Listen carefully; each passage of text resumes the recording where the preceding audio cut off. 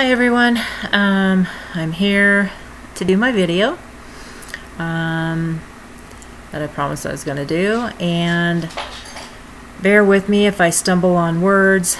Um, it's been a rough couple of days um, and I have trouble with thoughts so you're going to see me looking and reading, looking at my notes and reading my notes a lot um, to help me out um, because I do forget things and um, get tongue tied, all that sort of stuff.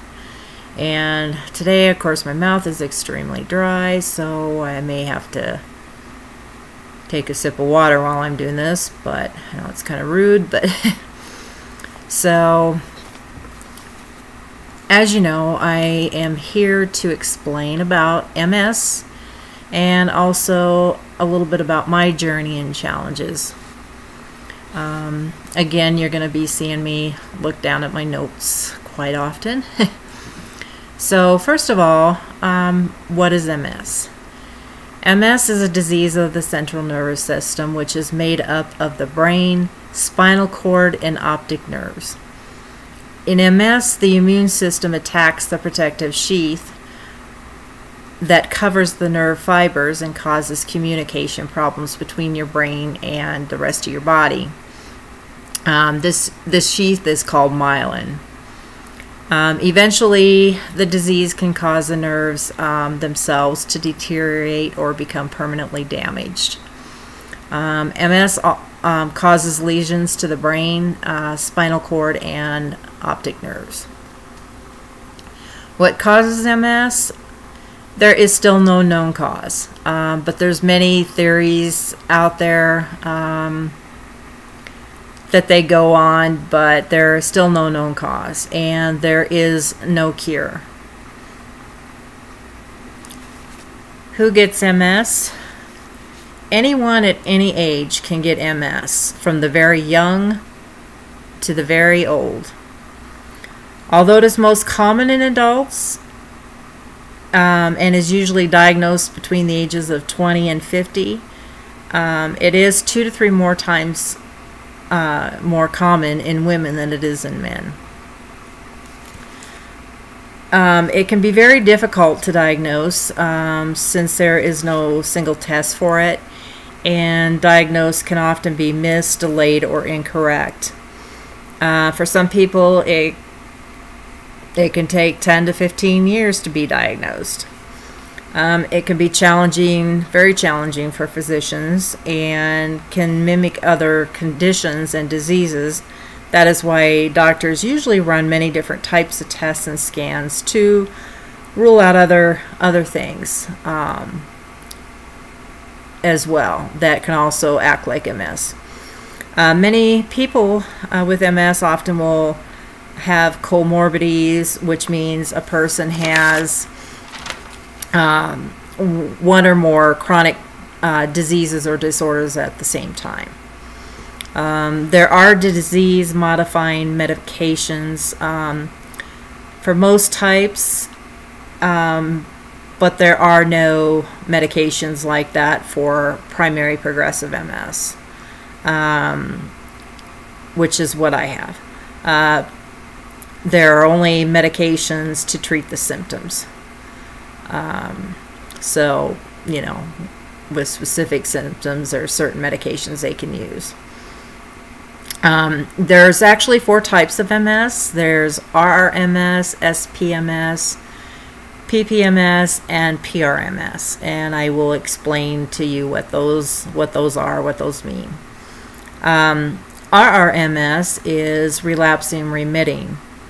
Um, it is the most common form of multiple sclerosis and is what most people think of, um, you know, when they hear about people with multiple sclerosis. Um, because it is, it is the one you hear of most often. Um, most people never even realize that there are uh, four types um, of MS. About 85% of people with MS are initially diagnosed with relapsing remitting. And in uh, RMS, there are temporary periods called relapses, flare ups, or exacerbations when new symptoms appear, and then you have periods of remission. Um, SPMS is secondary progressive MS. Um, with this, symptoms worsen steadily over time with or without occurrence of relapses and remission. Uh, about 50% of those first diagnosed with RRMS will transition to the secondary progressive at some point. Uh, PPMS, which is primary progressive MS. This type is not very common and is one of the more rare, more debilitating types, and occurs in only 10% of people diagnosed with MS. It has slowly worsening symptoms from the very beginning with no relapses or remissions, which means symptoms are 24 7 basically, with no recovery periods. This is what I have. Then there's PRMS, which is progressive relapsing MS. It is the most rare uh, type, happening in only about 5% of patients that are diagnosed. Um, it has a steadily worse disease state from the very beginning with acute relapses, uh, but no remissions with or without recovery. Um, there's many different symptoms um, with MS, and no two people uh, diagnosed are the same. While there are some people who may only experience two or three symptoms, um, there can be others that might experience most or even all of them for that matter. Um, and unfortunately, I experienced quite a few. um, you know, this is, you know, this is also why treatment and therapy is different for everyone and may or may not work for everyone. Um, so everybody's, you know, um, treatment or you know is is is different. Um, some of the more common symptoms are uh, fatigue, um, numbness and tingling, weakness, uh, dizziness and vertigo um, sexual dysfunction, pain, emotional changes, anxiety, balance problems, walking difficulties, spasticity, vision problems, spasms, bladder problems, bowel problems, cognitive changes, and depression. Um, some of the less common symptoms are speech problems, tremors, breathing problems, uh, headaches, um, GI problems, which means gastrointestinal problems, um, swallowing problems, uh, seizures, itching, uh, coordination problems, and sensitivity to heat and cold. Um, there's also, you know, like secondary symptoms, um, which are symptoms arising as a result of a primary symptom. Um, so basically, it's kind of like a complication or just another issue as part of a an initial system or symptom. um, amongst those, um, just a few are UTIs, uh, which can come from bladder dysfunction. Um, also, decreased bone density, loss of muscle tone, poor posture and trunk control, and shallow, inefficient breathing. Um, immobility can also lead to pressure sores. Um, this only begins to touch base about MS, but hopefully um, will help you understand a little bit more about it and at least gives you some basics. Um, there are some things. Um, sorry, I'm saying um a lot. there are some things that are very annoying and sometimes irritating to people with MS. When we say we are fatigued, it is not the same as being tired. So we get annoyed when people say, Oh, yeah, I am so tired today too. I need a nap. With fatigue, we just can't take a nap or drink caffeine, etc., and be ready to go again. There is nothing that really helps. Although doctors can prescribe certain medications that can kind of help push us through a day um, so we can somewhat function. Um, you know, it doesn't work 100%, um, but, you know, at least it does help. Also, when we tell people we are having memory or speech difficulty and they say something like, Yeah, I forget things all the time too. Or, I get tongue tied sometimes. It is very different. Um, there's no comparison. Our memory um, and speech difficulty is much more like people with Alzheimer's. Um, in fact, um, that's what they compare it to. In fact, um, people with progressive MS can actually go on to actually develop some sort of dementia because of lesions on the brain. Also, another big thing that people always say is, You look great, or You're looking really good, or You look wonderful. You know, just those types of things. Um, I know for the most part people mean well. Um, but let me tell you, these are certain things that really do annoy people with MS. Um, because, like I said, I know people mean well for the most part, but if you ask most anybody with MS, you're going to get a lot of the same answers. Um,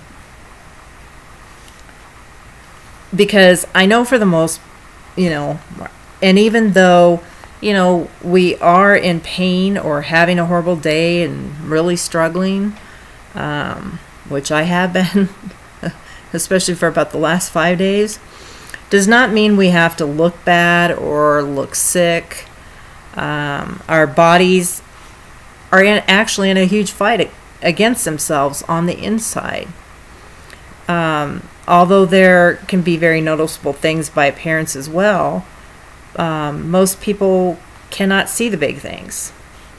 Also, another annoyance is we don't want or need advice on what we should do or how to treat it or different remedies to try or to try certain diets. There are people who suddenly think they are experts on your disease what we do really want is someone to just be there for us unconditionally. To just lend a shoulder to cry on, or an ear to listen, or for a hug and a smile. Those are very important. We can use lots of those. Um, we don't need someone to give advice or to question us unless it is genuine questions wanting to know more about MS. And we especially don't need people to judge us. Um, there's a lot of judgmental people out there, unfortunately. And, you know, it's not just with this, you know, that goes for a lot of things, unfortunately.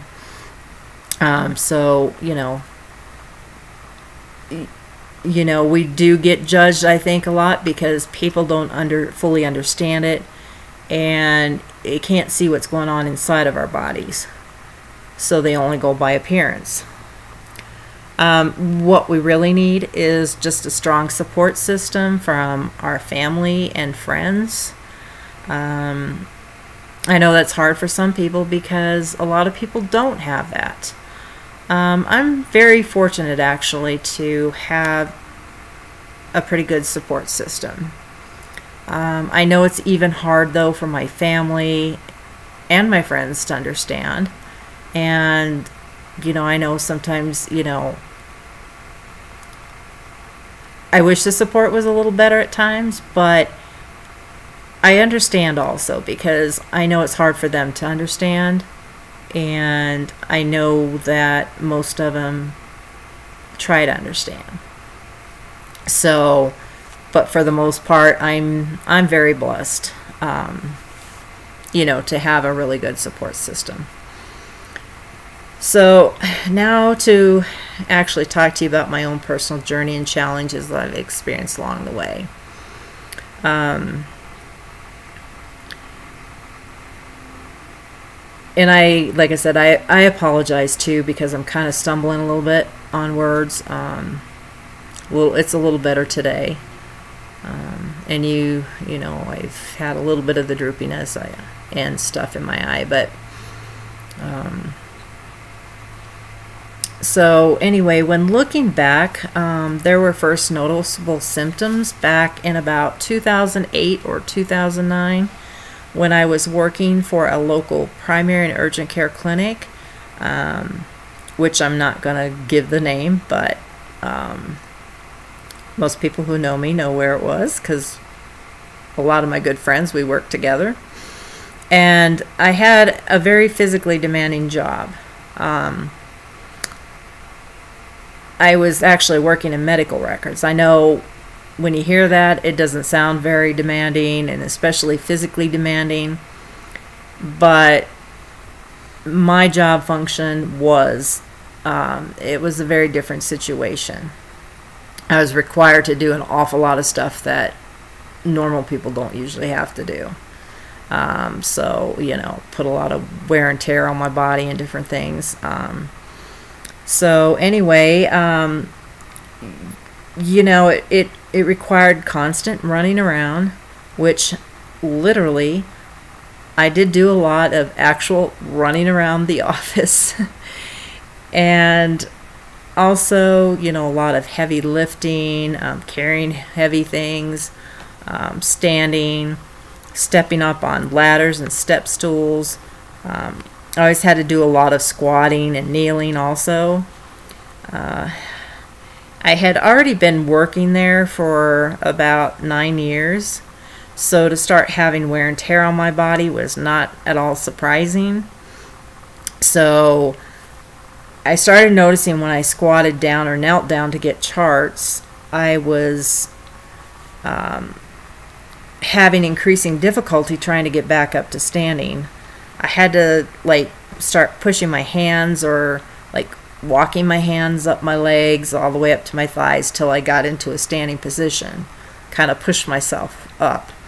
Um, I know it's kind of hard to explain, but um, that's the only way I can really explain it. And um, it was like, you know, of course, I was having weakness and in my legs and difficulty with stiffness. And even like when I would step up on the step stools or a ladder or what have you, um, it just seemed like it was getting more difficult. Um, so I never really thought anything about it. I just kept kind of sloughing it off as wear and tear on my body, you know, um, or sore muscles, you know, nothing really out of the ordinary. Um, then in 2010, um, just before I left that job, I was um, actually having more problems with like energy, you know, just trying to keep going. Um, you know, it took all I, I could, you know, muster up just to, you know, keep myself moving. Um, I just, you know, I wanted to like just not even be on my feet at all. Um, I went to um, you know uh, um, you know but again you know when I started that started happening I just kind of passed it off you know um, you know like it was no big deal um, then also in 2010, um, I went to work for the hospital um, in one of the specialty offices. Um, I was becoming more and more tired, which actually was fatigue. Um, I found myself drinking more coffee, uh, drinking Coke, uh, trying smoothies with energy boosters um, and even sometimes drinking energy drinks. Um, you know, and I was getting frustrated because nothing was nothing was working. Um, I was just having a hard time trying to keep moving and and staying alert. Um, you know, I just uh, felt worn out and just felt like I just wanted to go to sleep. Um, you know, my body just couldn't even move. I kept passing it off though as as stress from the workplace at the time. Um, so then in 2012, I started noticing some pain in my left front thigh at times, and and even when I was like on the couch, um, it, you know, I just thought it was the way I was sitting um, because it just felt like you know muscle ache or cramps, um, even though it was getting starting to get a little painful. Um, when I got my cancer diagnosis in late 2012, I was at one of my surgeon appointments and he asked me the typical question, um, especially because, you know, they want to make sure it hadn't spread or anything like that. So it was before I had like my PET scan and all that kind of stuff. Um, but he asked me the typical question if I was having any pain in my legs and different things. So, of course, I, you know, told him yes I I was and you know explained to him about the pain and um, that it was just you know in that thigh um, at the at the time. I thought it was just probably muscular pain. So again, I just passed it off. Um, you know, nobody really thought too much about it. Um, and then you know, I for so long I had not felt good off and on. And, you know, I really, when I look back even at pictures and stuff, I just really didn't even look that great either. Um, of course, don't look so great now, I look old. but anyway, I, you know, I, I, like I said, I never really felt good off and on for, you know, quite often and for, for quite a while actually. And, you know, I just felt generally ill um, you know, I had other serious health um, things going on as well as a cancer at the time. Um, so I figured, you know, I would start feeling much better um, after all the surgeries and, you know, and hopefully my anemia would get straightened out and all kinds of, you know, kinds of things. So I figured I, you know, I, I was kind of looking forward to all that, you know, thinking I'm I will feel a lot better.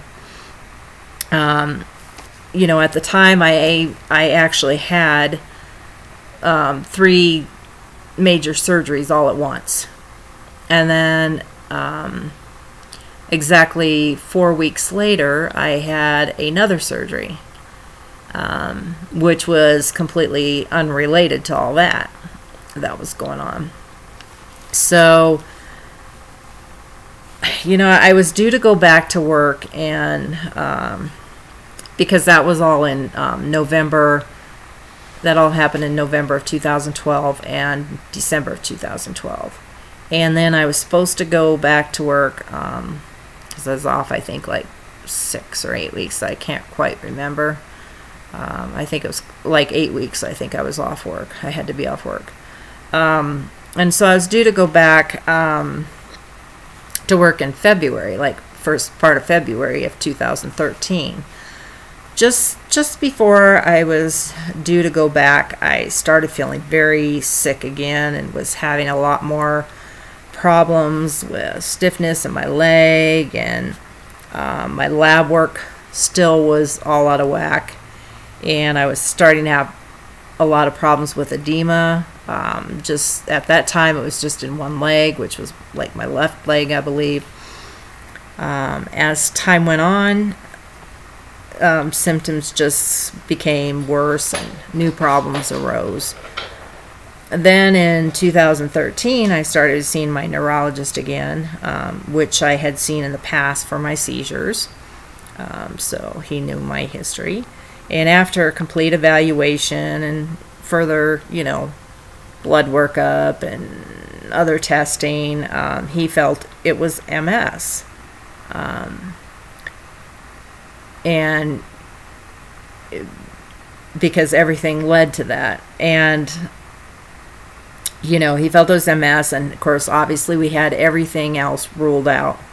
Um, and he continued to follow through with me and still does. Um, eventually, I started having uh, problems with blurred vision, double vision, and pain in my left eye. And um,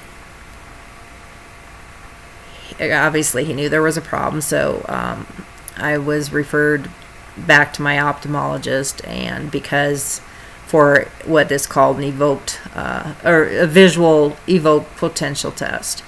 Um, because he does them at his office, um, and it's the only place around here that actually does them.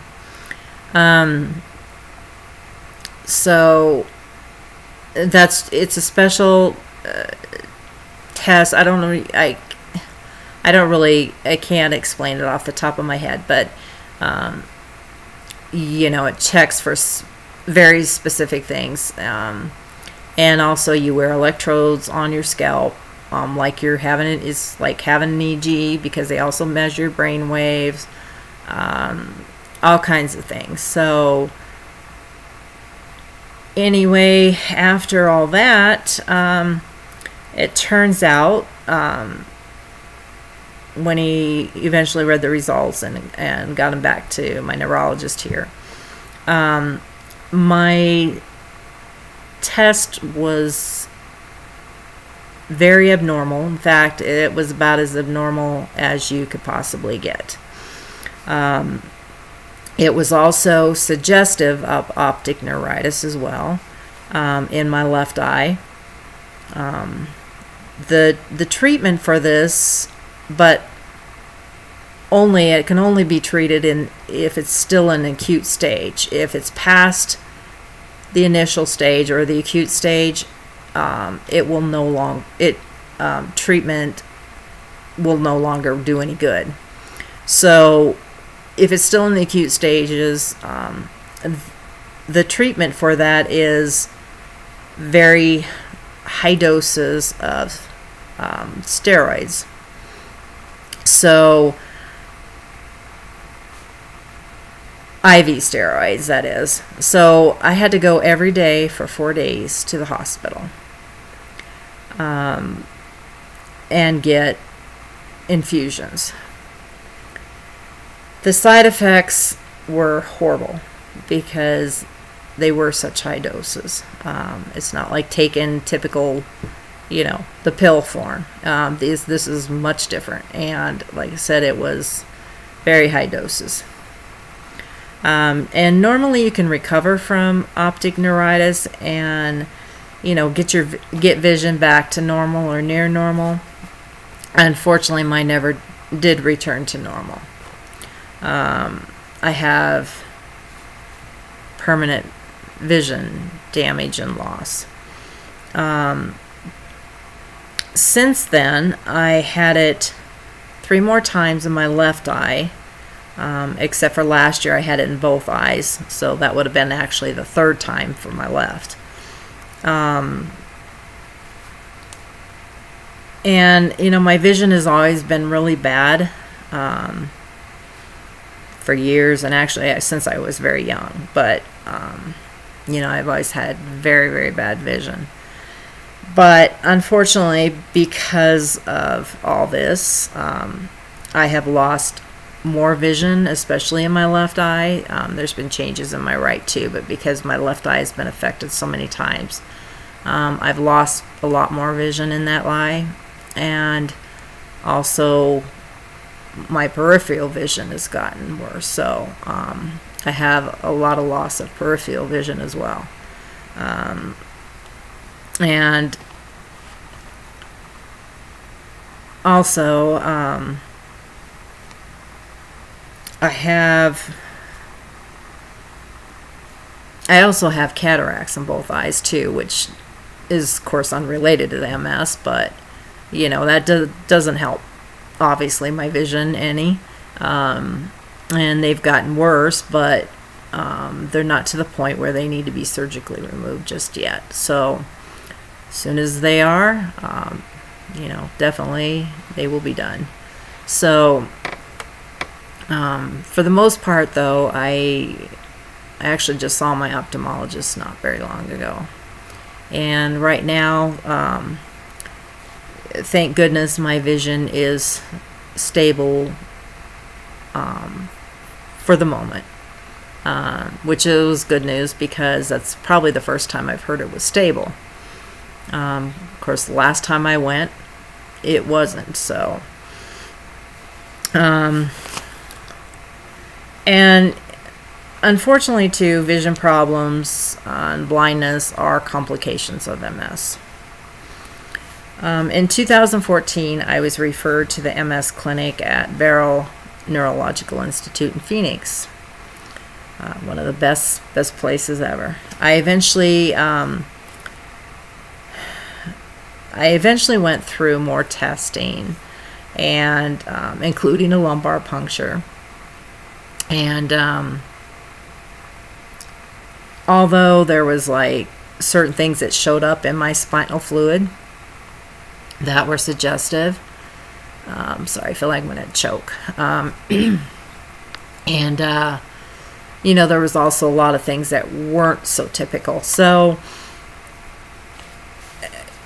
eventually, over time, the doctor did feel it was primary progressive MS because I've had, I've had like no, um,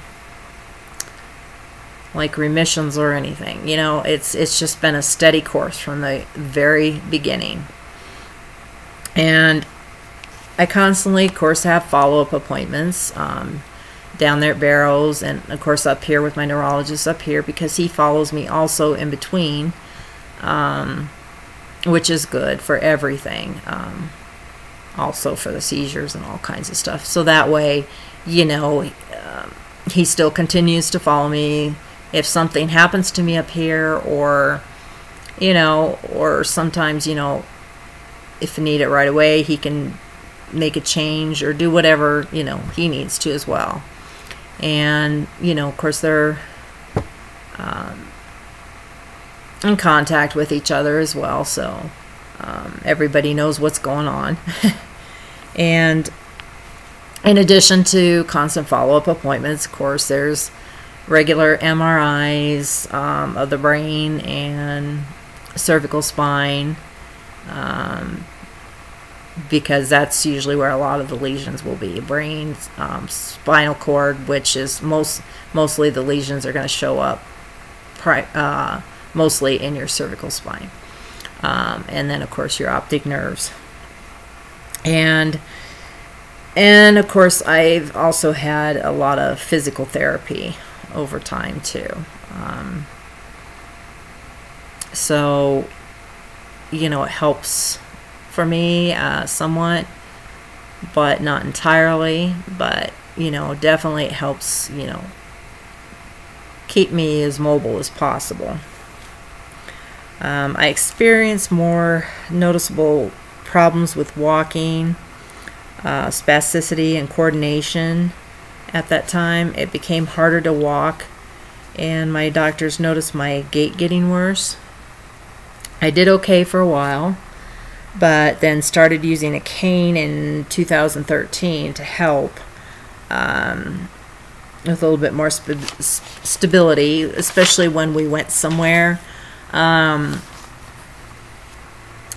you know, so like walking through a parking lot or what have you. It does, you know, anytime we went somewhere. So that way, um, it did give me a little bit more stability. And, you know, I didn't even use it at work for quite a while, uh, even though I had great walking difficulties. Um, but I didn't use it because partly because I was a little stubborn, I guess. Um, but I was also afraid of, you know, just being asked questions because at this point, nobody really knew too much. Um, you know, they knew there was problems, but didn't really know um, too much. But um, you know, I was afraid of being asked questions and afraid of what people might say or think. I was also afraid of being, you know, treated differently. I, I eventually did use the cane though at work. I, you know, I got brave enough and I actually started using it. And you know, like I said, I didn't really tell anybody for a while. Um, you know, and then eventually I started having more problems with coordination, balance, thought, speech, memory also, my tremors were uh, starting to get worse. Um, the itching became really bad, and that's from damaged nerves, and it's very uncontrollable itching. Um, but I had, you know, like I said, my tremors were getting worse, and they were in my hands, legs, and my head.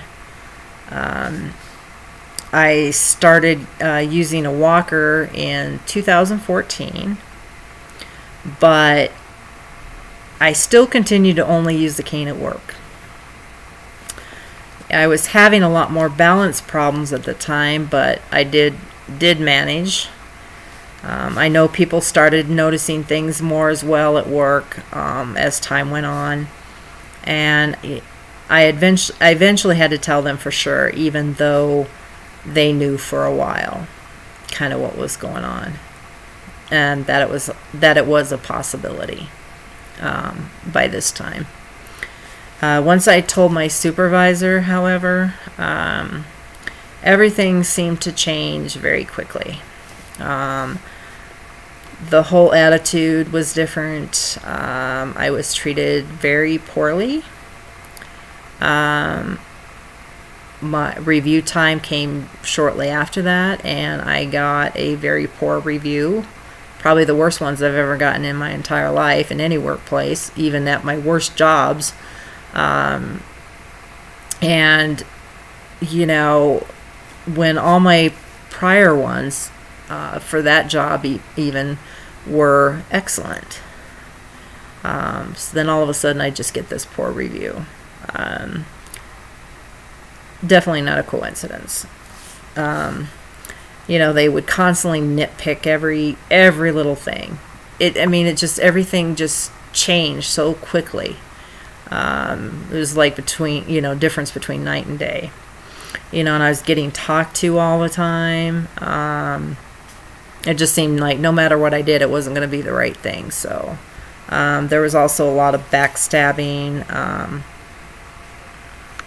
which started making it much uh, more stressful and difficult to, you know, be there. Um, and you know, there's just so much negativity. Um, and yet, I mean and that only comes from that only came from about two people um, the rest of the people were awesome that I worked with. Um, couldn't ask ask for any any better. Um, you know they they the rest of them actually treated me very respectful. Um, you know and so like I said it became more stressful and yet even though she always gave me a hard time, I was still asked to do parts of her job. And always went above and beyond, just as I did with all, all my jobs. Even at my worst jobs, I still did it anyway. That's just who I am. Um, not, you know, was never trying to score brownie points. It's just the way, it's just my work ethics.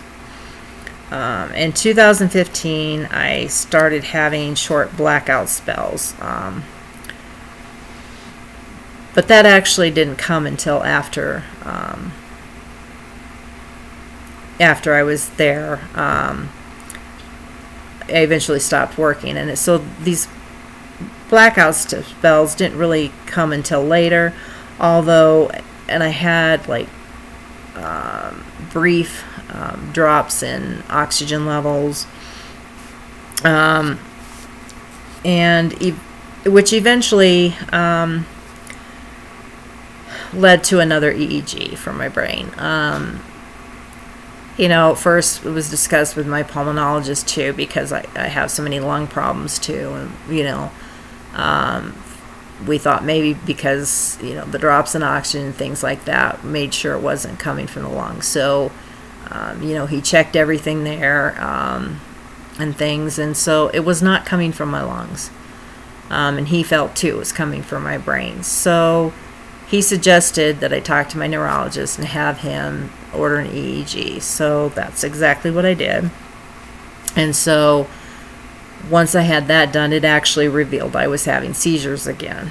um, unfortunately, after being seizure free for four years before that. Um, you know, I was first diagnosed with uh, seizures at um, somewhere around 15 years ago. I, I'm maybe even 16 years ago. I can't quite remember, but um, they know I was probably having seizures long before that. Um, that's just when it, you know, everything I was actually tested and, you know, the ball got rolling. So, you know, I became, over time, I became pretty good at hiding my tremors and other things, you know, when I was at work, um, you know, just with some of the movements I made and different things. I got very clever um, because I didn't want any chatter behind my back. I've already had enough of that. And also, too, because I was just kind of. It, it was somewhat embarrassed, and also I didn't want patients seeing me like that as well. And, you know, I just didn't want a lot of questions asked. And so, like I said, I got very good at hiding it. So, um, you know, whether or not people could tell or not, but I, I know a lot of them couldn't. So, um, in March of 2015, uh, per the hospital's recommendation and other reasons, um, and also from the orders from my doctors, um, I went out on uh, the Family Medical Leave Act. Um, so I went out on medical leave for, you know, a full three months, which actually ended up turning into permanent disability. Um, so, you know, I basically had, was told also you know, if I didn't have, if I didn't take this leave, I mean, this was be- being told to me by supervisors and stuff. If I didn't take this leave, that my job would be in jeopardy. So, and of course, the doctors didn't want me really working anymore anyway. In fact, the year before that, one of my doctors was already ready to take me out of work, and I wasn't ready. Um, I didn't, you know, I just didn't want that, that yet. Um, so,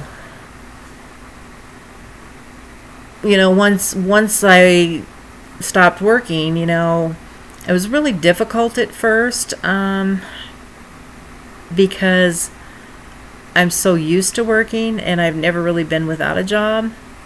Um, you know, there was only I think a couple times when I briefly, you know, like maybe like a week or so, you know, because when I was changing a job or something.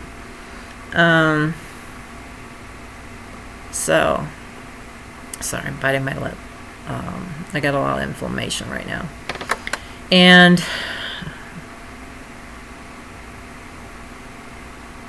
you know, so it it was hard. It was a big change for me. Um, so I felt very lost.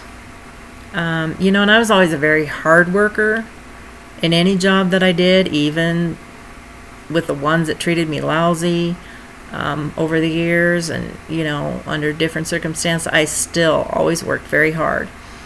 And I wouldn't say I was a workaholic because I really wasn't a workaholic. Um, you know, I just, I just always did what I was told and, and worked very hard. Um, you know that's that's the way I've always been taught you know from very young you know you work hard and you know I that's the way my work ethics were you know I put my all into it and learned anything that I ever could but anyway besides you know feeling lost and you know I would I would get even a little depressed at times um, of course, I also worried a lot about how we were going to make it. And in fact, that struggle still goes on, even three years later. Um, things, you know, never even really changed at work either until until they were told. And I even had a comment made to me um, well, you're never going to get any better anyway, so. Um, which was very hurtful, and, you know, they can't determine that. They don't know what my course of this disease is going to be. Um, so, you know, it, it changed dramatically, you know, at that point. Um, you know, I have realized, though, that it has all been a blessing in disguise. And, you know, now, of course, I'm able, you know, I'm free to do whatever I want or need to and whenever I want. Um, you know, it's, it's nice because I you know, I don't have to keep asking for time off to go to doctor's appointments and all this and that, which is a good thing um, because I see quite a few doctors and it's constant doctor's appointments. Um, so, you know, I've, I've, since that time, since I stopped working, which was three years ago this month, I had a progression even in the last two to three years and of course even more so even in the last year. I walk with a walker all the time since well since 2015. I really started walking with a walker in 2014, but um, you know, considering when I used a cane at work and stuff, you know, um, since 2015 I've used the walker continuously, and also even have a, a used a wheelchair on occasion uh, when when absolutely needed to. Um, you know, I've been to physical therapy many times, and they even notice the changes every time I'm there. Um, you know, for the worse. Um, I always, you know, for everybody who knows me, knows that I always try to be a very positive person and, you know, try to look at the good things and you know and and try to be strong. Um, but i admit even with my strong faith um, it can sometimes get the best of me and it can be very difficult. Um, most of my symptoms i deal with continuously uh, 24 7 um, while there are a few that i deal with some of the time. Um, I never, you know, get any breaks or re, you know from from the symptoms um, or you know any remissions. Um, you know, some of the things, well, actually, quite a few of the things that I deal with are seizures, uh, bladder and bowel problems, other uh, gastrointestinal problems, uh, terrible tremors in my hands, legs, and head, um, slurred speech, um, or problems trying to find words. In fact, I have been mistaken for being drunk. Um, before, I do get strange looks, um, especially with the balance, and then you add the slurred speech, and um, you know, it does it does you know when it happens, you know, to MS patients, it you know people do think we're drunk. Um, I also suffer from severe weakness in my legs, arms, and hands, uh, spasticity, and also spasms in my feet, legs, arms, and hands, uh, muscle twitches. Um, especially to my upper arms and a lot in my thighs, um, which is different, completely different from spasms. Um, they don't they don't hurt like spasms, um, but they still are very annoying. Um, also, severe problems with balance and have had many falls. Um, with of course my most recent one being like two or three weeks ago, which I know most of you know about. Um, I get uncontrollable itching all over. Um, in fact, I had terrible itching this morning. Um, you know, you get it in yours, your head, your back, your stomach, your feet, every, I mean, all over your body. And it's not typical itching like, you know, for most people. You get an itch, you scratch it. Or you get an itch, you use anti itch cream. Or you take Benadryl or something. You can't do that for this type of itching. This type of itching is caused because of faulty nerves. Um, so there's there's nothing that takes care of it. Although one of the medications I do take for symptoms um, helps with nerve pain, but it also helps with with the itching. Um, so, you know, I have severe pain uh, most all the time, and of course, there's pain 24 seven. Um, anyway. So I always I have pain every second of the day, um, all over.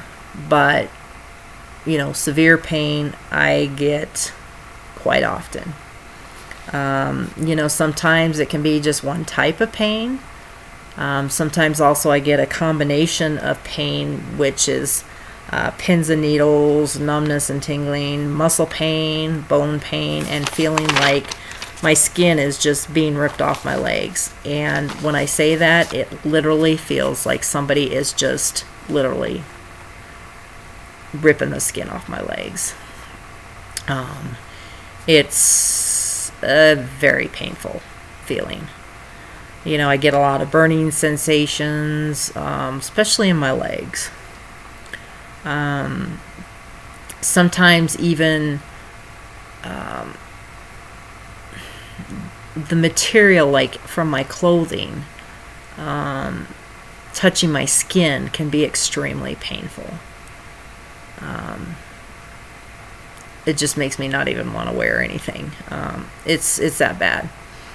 Um, there's been times too where, um, which was a new symptom, which I just started experiencing, experiencing like six months ago, five months ago maybe. Um, which I told them down at Barrows, but I, uh, in my upper thighs, and, you know, the front part of my thigh, um, in both of them actually, um, it just felt like there was glass in my legs or something. Um, it just it hurt so bad, and and I didn't want clothing touching. It was different than the other type of pain that I have, where you know I can't stand clothing touching. But this was a lot different. It was a whole different sensation, and it, you know. I couldn't figure out, you know, I thought, am I, did I get bit? Because at first it was just one leg, you know, it was one area, and then, you know, then it eventually went to the other one. Um, and, you know, it's just oh, absolutely horrible feeling. Um, like somebody just kept sticking glass in me or something. Um, you know, I also experience some mild depression and anxiety at times, not all the time. Um, but, you know, it's a result of seizures and some of the other symptoms. Um, of course, I suffer vision problems, um, headaches, memory and thought difficulty. Um, you know, I get distracted very easily also. Um, you know, and it's really hard sometimes carrying on a conversation because I will just stop right in the middle of a sentence or, you know, the conversation, totally forget what I was even saying. Um, you know, there's been times also where I've rambled on and I didn't even know what I was saying. It, it just made absolutely no sense, and the words made no sense. Um, this has happened to me a few times, um, which is frustrating. And sometimes I don't even know I'm doing it. Um, also, of course, you know, I have problems completing tasks. You know, I just, um, just simple things that I used to do. I just, um, you know, like paying the bills and different things. You know, I mean, um, you know, there's just, just, just a lot of simple things like that. Um, of course, I also suffer terrible fatigue. Um, I do have swallowing problems. They're not severe yet, but um, I do have a lot more swallowing problems. Um, even just like little tiny, tiny pills that I've had to take. Sometimes I just can't even get them down, or you know, I feel like something's always like stuck in the back of my throat. Um, and you know, I I I choke a lot also. Um, that's another thing, you know, that can happen. And, you know, it's basically choking on air. I mean, there's no reason for it. I just, all of a sudden, will just start choking. Um, you know, of course. Um, and then because of coordination problems and tremors, um, I a lot of times have trouble, like when I'm eating or drinking something um, because I can't steady my hands or, you know, because of the coordination and things. I drop food all over. I miss my mouth. It'll be down my chin, you know, be on, you know, drip, dripping some, you know, or, um, you know, I'll just drop everything. Um, that's another thing, you know, I just can't hang on to things. I don't have strength in my hands, and so, or coordination. And so I drop things all the time, and it's frustrating. Um, and then I get what is called the MS hug, and it is actually that is actually what it's called is MS hug, um, which is not a very good hug. It's not the type of hug I would like to get. Um, this type of hug is very painful, squeezing and pressure in your upper torso, kind of around your diaphragm, and you know, but it's to your upper torso and you know, like around your back. Um, but it feels like the whole front, you know, front of you is just um, literally, yeah, being squeezed as hard it possibly could. Um, and you know, like I said, it's it's very painful. Um, it does kind of take your breath away. So you know, um, it caught you know it it makes harder to breathe. Um, it makes you feel really sick. Um, so you know it's not unusual to get nauseated and things like that. Um, I also suffer from both heat and cold toler- intolerance. Sorry. um, so even when the temperature changes, even in the slightest, um, it makes my symptoms worse. So I also have to be careful, you know, in the shower and stuff. Um, you know, with the hot water. Um, and so you know that that's also why I like fall the best um, out of all the seasons because um, you know the temperatures are much easier in the fall and you know have less problems out of any other time of the year. And then also some strange symptoms that I get are um, and my doctors have actually seen pictures of it because we've taken a picture when it has happened, um, and it does happen often, um, is I get a lot of droopiness in my eyes. Um, my left eye is actually the worst. I have, I don't know if you can hear that whistle. Sometimes when I talk lately, I've been, it's like a little whistle coming out. Sorry about that. Um, but for some reason it happens more in my left eye. I get a lot of droopiness and it's very noticeable. And also I get droopiness to one side of my mouth. And but what's strange about that is I get usually the droopiness is in my left eye, but I usually get the droopiness in the right side of my mouth. Um,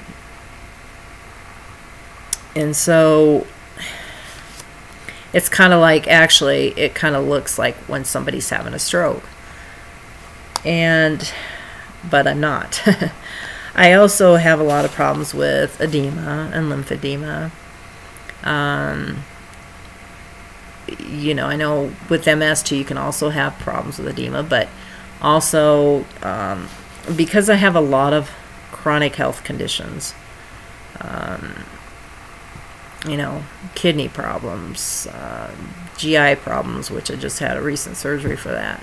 And of course, um, with my kidney, I have a mass on my right kidney, which I've had for a while, which is, they follow through. Um, of course, the seizures and you just um, lung problems, all kinds of all kinds of different things. Actually, there's about a million different things. well, that's exaggerating, obviously, but it feels like it. Um, and so, because of a lot of these chronic health conditions, there's a lot of symptoms with that. That is also symptoms with the MS. So sometimes it's hard to know when things kind of cross that line. And so it's just like a vicious circle all the time. And so it's kind of hard to know sometimes when, um, you know, if something's acting up with one of my other conditions because, um, like I said, there's so many different different things that um, have some of the same symptoms. And you know, some of my doctors keep telling me I'm at high risk for certain things, um, especially blood clots. And of course, I've had a, a few now. Uh, uh, pulmonary embolism, my last one in November, and when I was in the hospital, or it was actually discovered right before I left the hospital, um, but that's not what I was in there for. Um, and so, you know, doctors tell me a lot of times with a lot of these different things that I'm at high risk for. You know, watch out for this, you know, if this happens, da da da da, you know, so on and so forth. And I always question, I'm like, well, how am I supposed to know when, especially, I already have a lot of these symptoms on a normal basis? And they're like, well, you'll know because it'll be a lot worse. And I'm like, well, sometimes it is hard to know, you know, when to go to the ER, when not to go to the ER, when, you know, um, you know I'm not going to be no hypochondriac and go over for every little thing, you know, but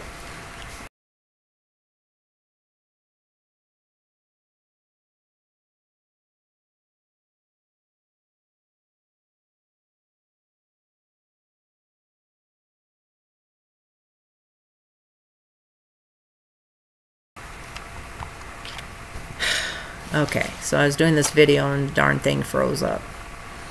Um, so, you know, I see so many specialists because of all these different conditions and diseases. And so, with my primary care doctor, I see about a total of 10 different doctors. Um, you know, so at least nine or, you know, I might even see 11. Um, so, anywhere from nine to 10 of those are specialists um, some of them in the same field, but um, you know it's different, uh, different things. Um, so, uh, like I said, you know, my most recent fall was just like a couple weeks ago. Um, you know, also to um, I get terrible dizzy spells. Um, but you know they were they were weren't too bad for a while but just in about the last two months i guess it has been i had an increase in dizzy spells. They got much worse um, quickly. So great. My son's coming out of his room so you can hear his door creaking. Um, so also because of this my neurologist did recently did a uh, another MRI just to make sure everything's okay. And thank goodness it was stable compared to my last one. Um, I also, you know, have to have help at times because it's very difficult for me. So I have to have help um, with dressing sometimes, you know, buttoning is really hard for me. Um, so you know sometimes I have to help you know with my shirts or um, even sometimes with shoes I've had to have help before um, and just depending on you know how bad I am. Uh, putting on a coat sometimes is difficult, and um, it's it still is, and that's kind of always um, the thing. So I have to have help with that. Um, I've had to help have help getting out of the bathroom before because I got so overheated. Um, all my muscles and my, I mean my muscles throughout my legs um, and my arms and my hands were completely spasmed. My hands were completely curled up and in a weird position, and I couldn't move. And I was in so much pain, and I just it it was awful. So my husband had to come and help me. Um, it was it was pretty scary. And so, anyway, that's a lot what I deal with. Um, I know there's a lot more, but I've said enough. Um, you know, I know this is a lot to take in and is more detailed than probably what I originally planned. Um, but I'm hoping this will help you understand just kind of the basics of MS and just understand me and my journey and, you know, what I've been going through and just to understand me as a person that I am now. Because I'm not the same as I used to be. Um, you know, I'm not looking for sympathy or pity. Um, you know, I don't even hold my own pity parties. That's just not happening because um, it doesn't do any good. Um, you know, I'm just looking for support and understanding, um, as most MS patients are. Although I never thought in my wildest dreams that I would ever be dealing with this. Um, you know, I mean, this has been one of the hardest things I think I've had to deal with in my life. Um, you know, when I went through my cancer, it was hard, but, you know, with that, I knew I was going to get better. With this, you know, I know I'm not going to get better. Um, you know, it's only going to get progressively worse over time. And so, you know, it was, it's been a lot harder to deal with, and probably the hardest thing to deal with is losing a lot of my independence. Um, that's probably been the most difficult for me. Um, you know, because I've always been a very independent person, you know, did everything for myself. And so, you know, losing a lot of that, um, you know, I haven't totally lost independence completely, but, you know, I do still have a little bit, but, you know, I have lost quite a bit.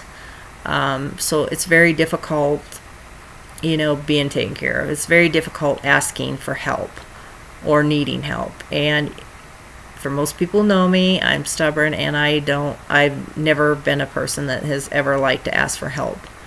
Um, and it's not because I'm proud or anything like that, it's just the way I am. And so that's, you know, been a hard thing.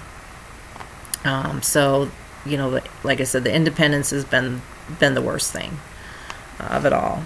And, you know, but like I said, I never thought I would ever be dealing with this, but in ways I am blessed at the same time for going through this um, because it has taught me more about myself. Um,